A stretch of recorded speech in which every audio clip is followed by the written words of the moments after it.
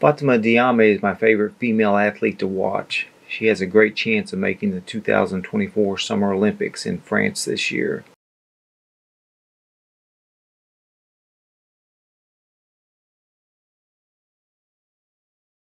She makes a good jump of 6.56 meters, her first valid jump of the competition.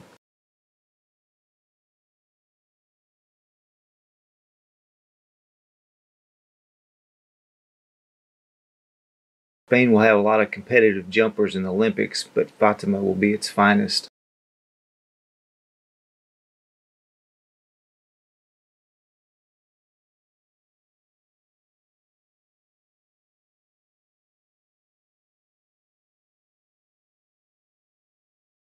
She makes a nice jump of 6.51 for her final attempt.